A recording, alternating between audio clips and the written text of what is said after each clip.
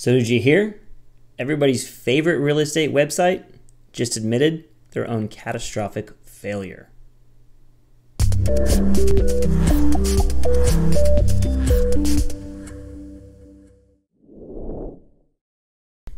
Hey guys, I'm Nicholas Shrouder, one half of the Shrouder Brothers, Berkshire Hathaway, Results Realty.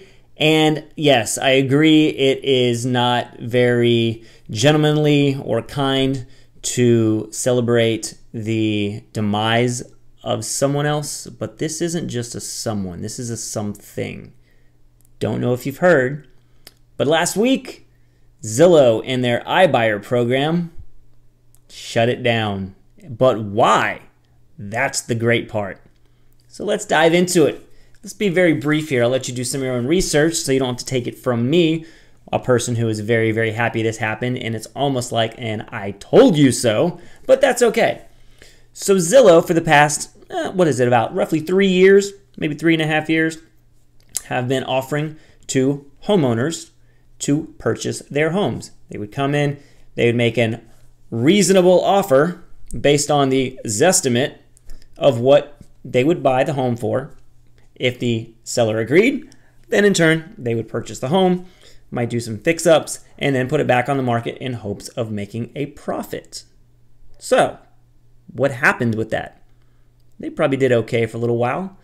But in just the third quarter of 2021, they lost, and I'm reading from an article right here, about $304 million. It gets better. During that time, they purchased just shy of 10,000 homes. Now, how many of those homes sold? About 3,000. But why did those homes not sell? Why those 7,000 homes not sell? Reading from a quote from a Zillow executive, we have been unable to accurately forecast future home prices. I believe I've done multiple videos about the home value tools that you can find online. Put in your address and bam, there's your value. One's called the Zestimate. There's some other ones out there as well, but most people rely on the Zillow Zestimate. Not anymore. The proof is in the pudding. Zillow lost their butt on this deal, and they are getting out of the home buying business because they didn't know what they were doing. And their algorithm of telling homeowners what their home is worth was incorrect. I'm sorry. It, this one makes me extremely happy. When I read it last week, I kind of jumped for joy just a little bit. But again, I don't mean to, you know, to celebrate somebody else's misery, but this is Zillow. They ones that come in and try and disrupt the market, and you can't beat a real real estate agent a real valuation of a home. There is nothing else that stands in in place of that. It just doesn't. You can't put your the criteria of your home into a system and get an accurate number. There's too much that comes into play. Know, there's a lot of other sales. There's a lot of other features to homes. That's why whenever you want a true value of your home, you need to reach out to a trusted agent and have them come to your home, take a look at your home, and then go back and do their research, do their due diligence, and then provide you with an accurate value that is not just a zestimate. So, again, sorry that I'm celebrating somebody else's loss, but it's Zillow.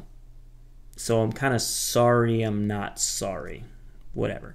But guys, definitely check it out. All you have to do is go into your favorite search engine and type in Zillow, and I guarantee you it'll be the First thing that pops up after, of course, their own website. People are still going to use the website. I get it. They do great marketing, so they become the top search result when anybody is looking to buy or sell a home.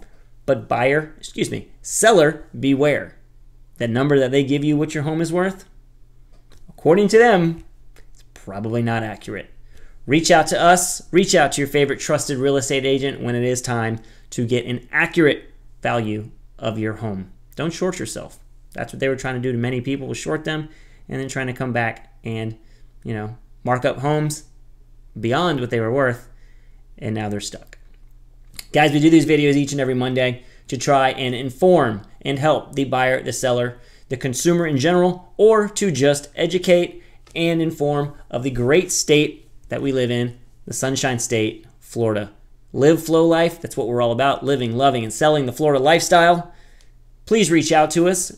Our website, liveflowlife.com. You can watch the videos, you can check the blogs. Uh, there's so much more that you can do on those pages. But please do reach out, click the like, the subscribe, all of that. Uh, if you have any questions at all, definitely just let us know. We appreciate everything. Hope you enjoyed the video. Please leave a comment. I'd love to know your input on this. We'll talk to you soon. Have a good one.